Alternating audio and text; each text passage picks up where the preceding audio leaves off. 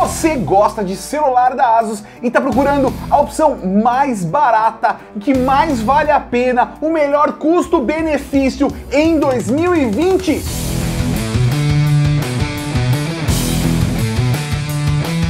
Então, se você gosta de celular Asus, fica aqui com a gente. Raul, eu sou o Tato, seja bem-vindo ao canal e vamos falar de celular Asus com o preço bom, barato e que vale a pena. Ah, e uma coisa importante, assim que a gente atualizar esse vídeo, sim, porque a Asus pode lançar novos produtos e aí a gente muda a lista, não tem problema. Se tiver um vídeo novo, ele vai aparecer aqui no card agora. Se não apareceu ainda, vamos com a gente, porque tem um monte de coisa bacana. Vale citar aqui se você não está procurando somente celular da Asus, mas quer celulares baratos, a gente fez um compiladão com todas as marcas que vendem aqui no Brasil, quais são os melhores celulares baratos que valem a pena comprar nesse ano. Então, dá uma olhada, o vídeo apareceu agora aqui no card. E para começar com chave de ouro, o melhor preço pelo melhor produto, de verdade, não dá para ir errado. E não tem como deixar fora dessa lista o Zenfone 5.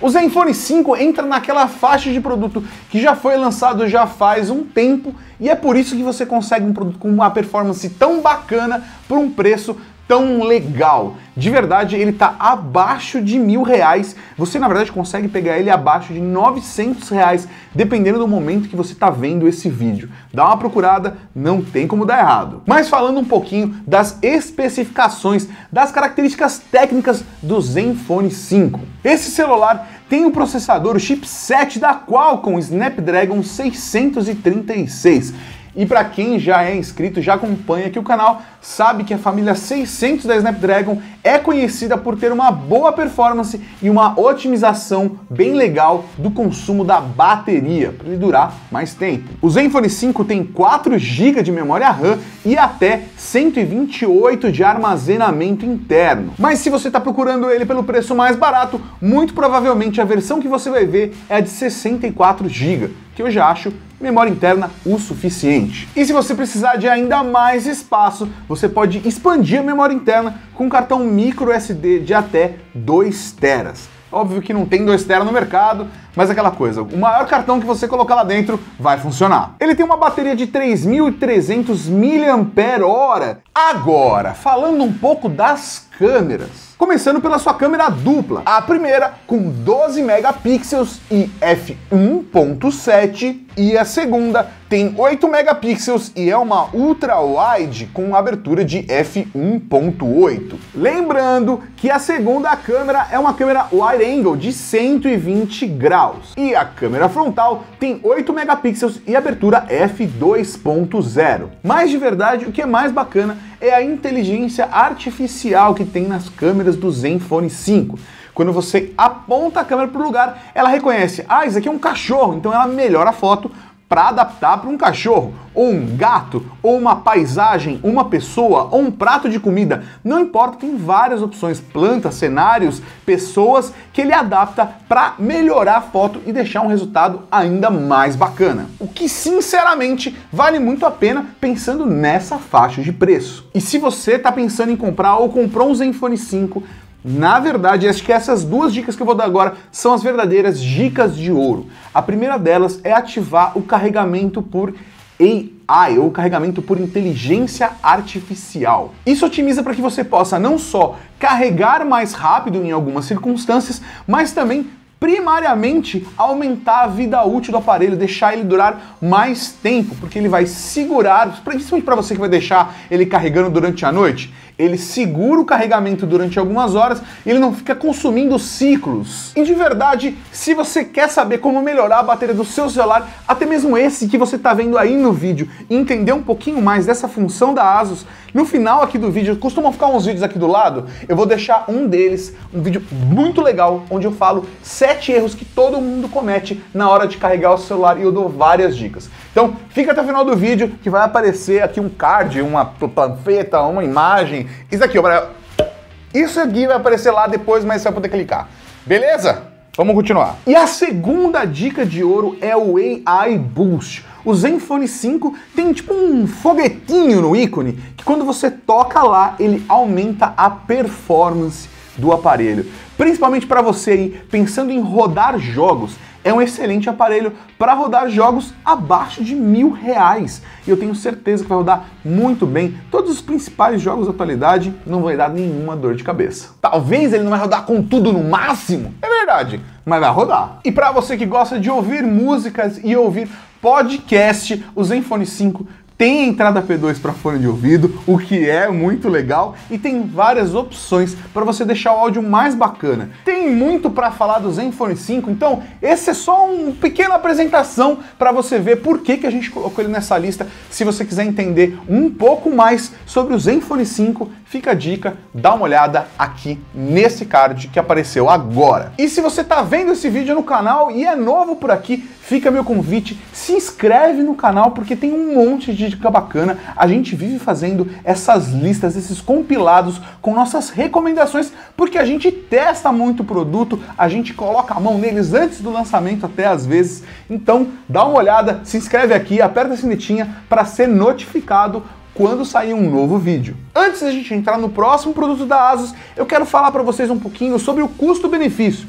Ou melhor ainda, o que a gente chama de o bom e barato, que é pegar e aproveitar o máximo possível de funções de um celular com o mínimo de dinheiro possível. O próximo produto dessa lista vai entrar nessa faixa de preços. Mas se você não quer somente um celular da Asus, fica a nossa recomendação do famoso custo-benefício de todas as marcas. Apareceu aqui no card, clica e vai para nossa seleção. Mas o celular que eu vou falar hoje é o Zenfone Max Pro M2. Zenfone Max Pro M2 já tem um processador um pouquinho mais potente. Ele vem com um chipset da Qualcomm Snapdragon 660. E também tem a maior parte das funções de inteligência artificial que a gente viu no Zenfone 5. Agora um ponto que vale destaque nele é a sua bateria de 5000 mAh. 5000 mAh para a maior parte das pessoas vai dar mais de um dia de bateria. Um dia e meio para minha mãe daria uns dois dias de bateria. Essa é a verdade. Para quem usa menos, usa mais só celular e WhatsApp, telefone, dá uma pequena navegadinha, vai durar bastante. E para quem tem um uso hardcore, usa bastante, tira muita foto, fica o tempo todo conectado ou jogando por várias horas, 5000 mAh significa paz de espírito.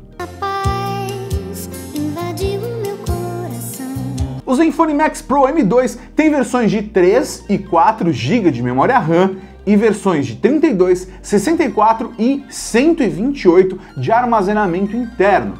Lembrando que ele também suporta cartão micro SD de até 2 TB.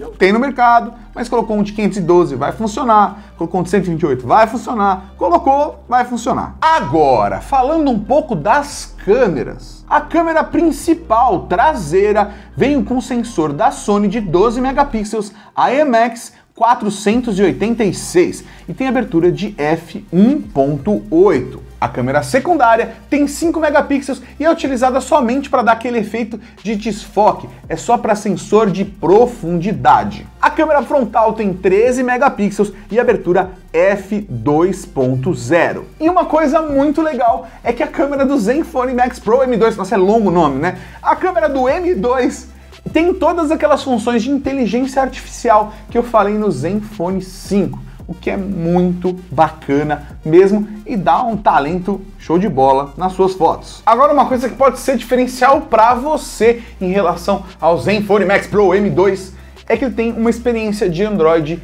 puro. Ele é um dos aparelhos da ASUS com a maior experiência de Android puro. Então, se isso é um diferencial para você, se é uma coisa importante para você, fica aqui a minha recomendação.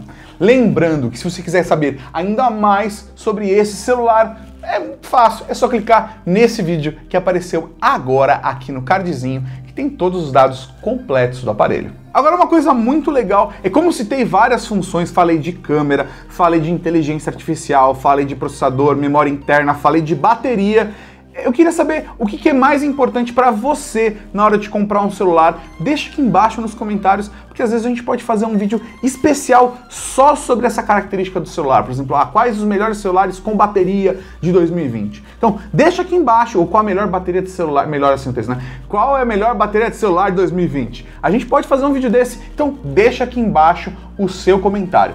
Agora, se você gosta de celular da ASUS, e achou que os que a gente recomendou aqui é tudo muito basicão? Você quer de verdade o creme de la creme? Você quer o top, o tufo do mufurufo, como diria a minha avó? não dá pra gente não recomendar também os melhores celulares da ASUS. Quais são os, os, os topo de linha? Aquele celular que você sabe que você vai gastar uma bala, vai gastar uma grana, mas ao mesmo tempo você vai ter a melhor experiência possível com a marca. Se você é desses e quer um celular desses, mas quer que seja da Asus, então dá uma olhada nesse vídeo que vai aparecer agora no card, que são apenas os melhores celulares da Asus de 2020. E se você ficou até aqui, merece todo o meu amor, e me diz aí, você acha que eu não mereço um like? Gostou do vídeo? Deixa um like, se inscreve para ver os nossos próximos, porque a gente sempre atualiza todos esses vídeos. Fala de lançamento quando as marcas anunciam. Isso quando a gente não faz live acompanhando com comentário em português os lançamentos lá fora. Então, quer ficar sabendo tudo do mundo dos celulares? Se inscreve aqui no canal e aperta o sininho para ser notificado. E a gente se vê na próxima. Raul, um abraço. Tchau!